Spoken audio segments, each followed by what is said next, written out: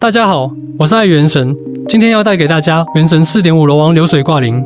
四点六仆人 V 五紧急加强，这下真的媲美龙王了，范围加大，霸体优化，元神四点六前瞻仆人 V 五连夜发出，圣遗物武器选择推荐。四点六卡池新角色强度紧急调整，水龙同款霸体来了，仆人的 V 四技能改动来了。废话不多说，具体大家直接看下图。之前仆人的霸体一直让人诟病，而这版的消息中提到，仆人现在普攻是全程霸体了，但也只是能覆盖前四 A，和那维莱特一样，可以顶着大风车，不会击飞，但是会死。目前只有普攻是有霸体状态的，重击合一都没有霸体。虽然 A 五后摇和 A 六后摇比较大，中间也有一个比较短的时间没有霸体，但是实际的体音上影响并不大，看着还还行。据说和龙王一样，都是一命霸体，看样子又是逼克的一个角色了。同时仆人的附魔范围也得到了提升，增加到了百分之二十。普攻还将抗打断能力提升至霸体，仆人终于得到加强，最后一次调整已经完成。现在推荐一下仆人的圣遗物选择，专武很专，仆人之面板攻击和双爆，平民五星首选和仆渊，其次是护魔之杖，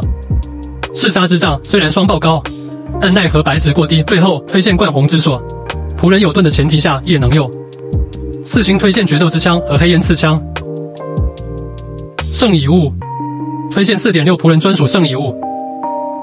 能为仆人带来百分之五十四的增赏，其次是决斗士四件套，百分之三十五的增加与新套装的最终伤害差距不足百分之。与有毕业决斗套的老玩家不用考虑新套装，